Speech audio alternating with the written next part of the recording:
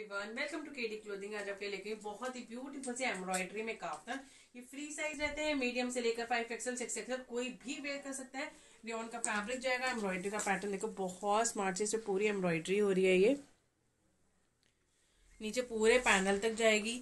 Even ये इसके sides में भी आएगी। यहाँ पे आपको डोरी दी जा रही है, जिससे आप अपना साइज़ एडजस्ट कर सकते हो। गाइस आप इसको टाइट कर सकते हो लूज कर सकते हो, आप जैसे चाहो उसको वैसे वेयर कर सकते हो, ये बिल्कुल आराम से इजीली कुछ भी हो सकता है। इसके आप कलर ऑप्शन मैं आपको दिखा रही हूँ, बहुत ही स्मार्ट साइज़ में आएगा येलो कलर सेकंड जाएगा हमारा रेड कलर थर्ड जाएगा हमारा नेवी ब्लू रॉयल ब्लू है ये। एंड ये वाला हमारा ब्लैक कलर ठीक है फोर कलर ऑप्शन है। फैब्रिक की quality just wow rayon fabric है कॉटन रेन अब इसमें एक और पैटर्न एम्ब्रॉयडरी का मैं आपको वेयर करके दिखाती हूँ।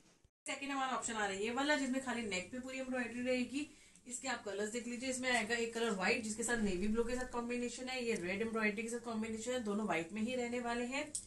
ये आने वाला है हमारा ब्लू कलर ये रॉयल ब्लू रहेगा, जो मैंने वेयर करा हुआ दैट इज़ नेवी ब्लू ये आपका जाएगा मेहरून शेड एम्ब्रॉयडरी का फिनिशिंग वगैरह पास से देख सकते हैं। बहुत अच्छी एम्ब्रॉयडरी करी हुई है।